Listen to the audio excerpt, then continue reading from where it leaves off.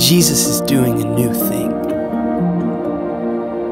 In every direction and on every continent, Jesus is doing a new thing. From the slums of India to the high rises of New York, Jesus is writing a new story for every person. He's bringing sight to the blind, hope to the hopeless, and healing for the brokenhearted.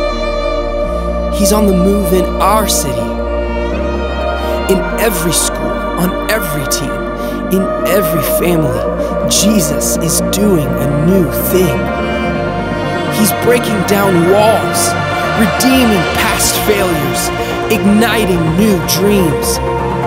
The crazy thing is, that same God has His hand on this weekend. Jesus is doing a new thing right here in this room. He's inviting all of us to be a part of something bigger than ourselves. His invitation is for every person, no matter where you came from or what you've done. You may have given up on God, but He hasn't given up on you. In fact, tonight, you are on heaven's radar. Jesus is doing a new thing inside of your heart. The question isn't, is Jesus doing a new thing?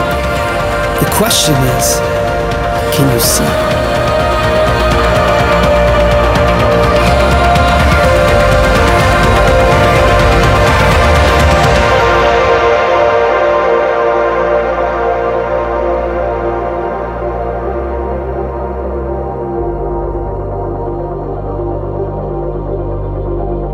We all need a touch from God.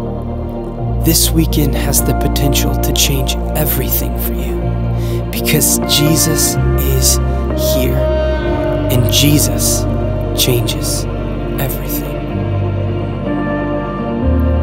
Can you see it?